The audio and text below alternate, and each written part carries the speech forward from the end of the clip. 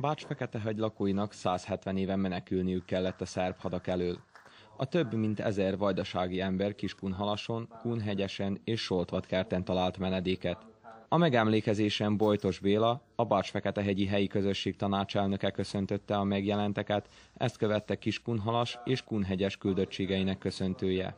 Kiskunhalas nevében kell megköszönnünk azt, hogy még mindig emlékeznek itt Bács-Feketehegyen arra, hogy amikor 170 évvel ezelőtt elindultak ők északra, akkor Kiskunhalasra jutottak el több mint ezren. Pusztán a létükért menekültek, és hát elég nehéz így elképzelni manapság, ugye, hogy egy párna húzatba, vagy egy kis lepedébe beletettük az egész vagyonunk, amit maga, magunkkal tudtunk vinni, és el kellett menni egy ismeretlen helyre, és ismeretlen ideig kellett ott lenni, és ismeretlen volt számukra, amikor elindultunk, hogy visszajönnek egyáltalán. Tehát rengeteg ismeretlen dolog volt, és azt hiszem, hogy nem is tudjuk elképzelni, milyen érzés az, hál' Istennek, hogy, hogy ezt a szörnyűséget megélték. A történelmi előadás keretében Sárközi István, a Feketics Művelődési Egyesület elnöke idézte fel a korabeli, többnyire szomorú és tragikus eseményeket.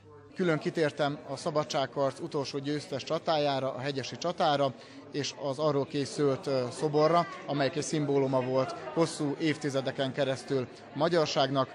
Próbáltunk egy kis összegzőt levonni erről, miszerint minden magyar közösség saját sorsának a kovácsa.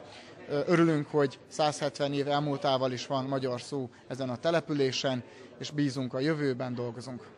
A megemlékezés január 26-án folytatódik, amikor egy ismeretterjesztő filmet mutatnak be a kunokról a kultúrotthonban. Február 3-án Isten tiszteletet tartanak a református egyház közösség imatermében, ennek keretében szintén a 170 évvel ezelőtti eseményekre emlékeznek, majd pedig megkoszorúzzák Berhidai keresztes József lelkész sírját.